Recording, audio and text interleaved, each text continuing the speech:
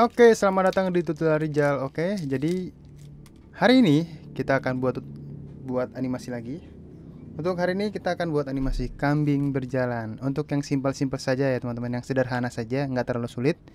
Ini gampang dipraktekkan. Jadi di tampilan seperti ini kita buat 24 fps saja teman-teman. Oke, kita klik standar, kita create. Oke. Nah, tampilan seperti ini. Langsung saja kita buat brush dan kita gambar jangan lupa brushnya dibesarkan. Ukurannya ada di bagian property. Yang tidak ada propertinya bisa ke Windows terus kalian klik property. Nanti dia akan muncul property seperti ini. Setelah itu kita size nya kita besarin. Kita lihat. Oke seperti ini teman-teman. Jadi jangan lupa untuk undonya itu Ctrl Z untuk redo Ctrl Y. Jadi misalnya ada kesalahan dalam proses penggambaran kalian bisa tekan Ctrl Z seperti ini. Ya Selanjutnya kita akan buat seperti ini, kita buat kepalanya terlebih dahulu. Seperti ini, ya. Ini dia kepalanya. Setelah itu kita buat badannya, teman-teman. Buat badannya seperti ini. Ya, pastikan terpisah ya, teman-teman. Jangan jadikan satu dulu. Karena untuk kepala, badan kita akan jadikan simbol. Oke, langsung saja kita jadikan simbol untuk kepalanya tapi terlebih dahulu kita beri warna dulu biar nggak ribet. Oke kita beri warna menggunakan ini paint bucket tool namanya teman-teman atau shortcutnya K. Jadi kita klik aja yang fill colornya atau bisa juga langsung di sini juga bisa. Tapi biar lebih gampang kita di sini aja fill color. Di sini kita pilih warna untuk kulit kambingnya di sini kita pilih warna kulit seperti ini. Nah untuk warna kupingnya mungkin agak sedikit dibedakan. Kita bisa ke bagian color, di sini color.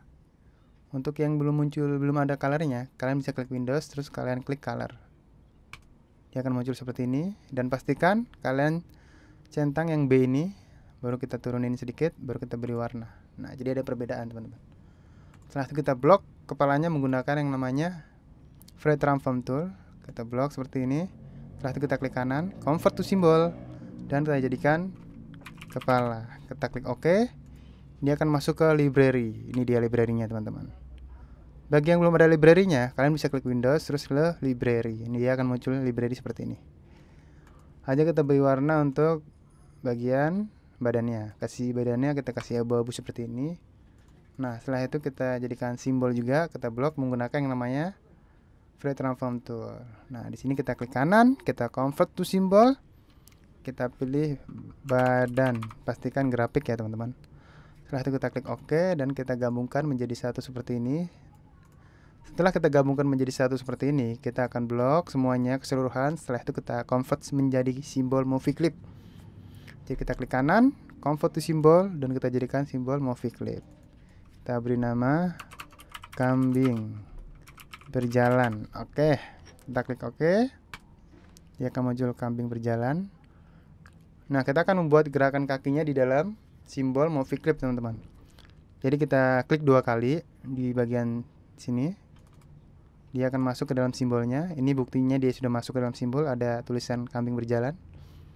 Oke, selanjutnya kita blok semuanya, kita klik kanan, kita distribute to layer untuk memisahkan simbol-simbol ini menjadi layer-layer tersendiri. Ini kan masih jadi satu layer nih, teman-teman. Sini kita bisa pisahin nih Nah, pada saat kita klik dia akan badan sendiri, kepala sendiri. Seperti ini. Dan akan tercipta layar satu kosong seperti ini. Ini layar satunya kita jadikan untuk kaki saja, teman-teman. Kita beri nama kaki. Nah, untuk kakinya kita buat animasinya frame by frame ya, teman-teman. Ini kita zoom dulu. Biar kelihatan hanya kita klik brush kita ubah warnanya menjadi hitam pastikan brushnya sama kita zoom dulu tekan zoomnya kita klik zoom tool kita zoom in selanjutnya kita klik brush kita klik brush seperti ini. Nah satu seperti ini satu seperti ini. Nah dan di belakang seperti ini di depan seperti ini. Nah, kita tekan F7. F7 ini sama seperti insert blank keyframe ya teman-teman. Jadi itu shortcutnya. Setelah itu kita aktifkan yang namanya onion skin supaya gambar di belakangnya itu terlihat seperti ini. Nah, selanjutnya kita buat gerakan lagi. pergerakannya seperti ini jadi ini seperti ini oke samakan dulu jadi dia ada perbedaan gerak. Setelah itu kita klik F7 lagi. Selanjutnya yang ini kita panjangin. Yang ini tetap saja di sini. Oke yang ini tadi yang panjang yang ini. Kita lihat dulu. Sepertinya jomplang ini guys. Jadi kita panjangin lagi dikit yang ini. Ya yang di frame pertama frame kedua frame ketiga ini yang ini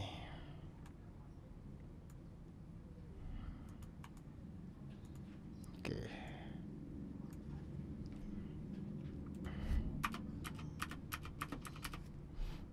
oke jadi yang untuk yang frame di yang kedua ini kita copy kita copy frame kita paste frame di sini.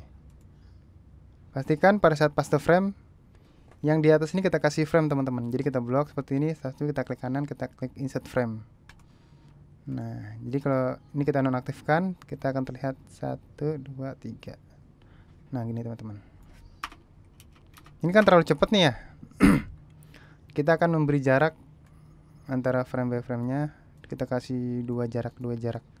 Kita akan coba dulu dua jarak dua jarak apakah bagus? Insert frame di atas juga jangan lupa insert frame supaya terlihat. Jadi kita Ctrl Enter jenis seperti ini. Nah. Aja kita akan beri pergerakan pada bagian badannya. Ini kita tekan F6, ini kita tekan F6, F6. Oke. Jadi yang untuk yang ini kita geser ke atas sedikit.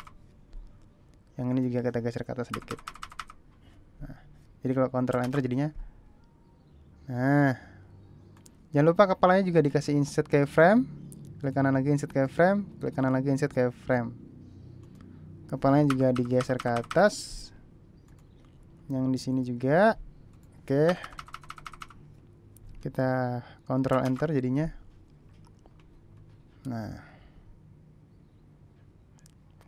oke kita kembali ke scene 1 kita zoom out menggunakan zoom zoom out tekan alt untuk zoom out seperti ini atau di sini juga bisa zoom out Nah, ini dia tampilannya teman-teman. Hasilnya seperti ini. Kalau kita kontrol enter, jadinya seperti ini.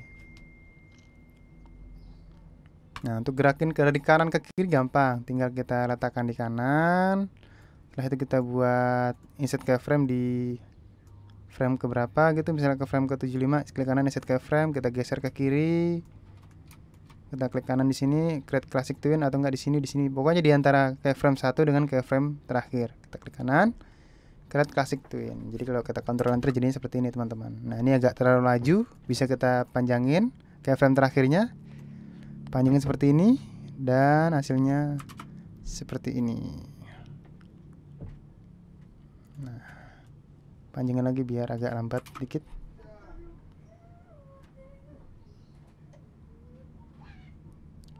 Nah, kalau mau diubah gerakannya tinggal di bagian library di movie clip kambing berjalan ini. Kita klik dua kali. Misalnya kepalanya mau kita gerakin.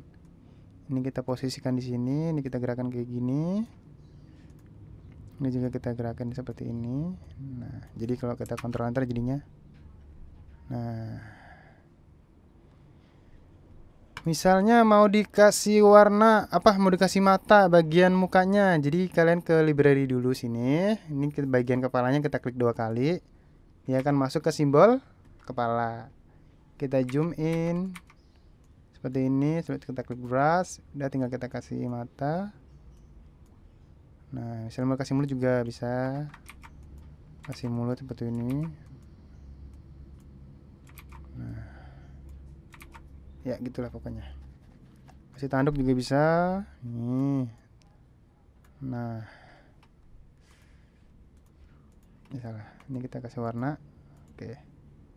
Kita kembali ke scene 1 kita lihat kontrol enter jadinya seperti ini teman-teman. Nah. Simpel dan sangat mudah sekali dilakukan oleh teman-teman yang baru belajar Adobe Animate. Oke sampai di situ saja tutorial saya kali ini jangan lupa di subscribe dan like. Jangan lupa di share ilmunya. Sampai jumpa di tutorial berikutnya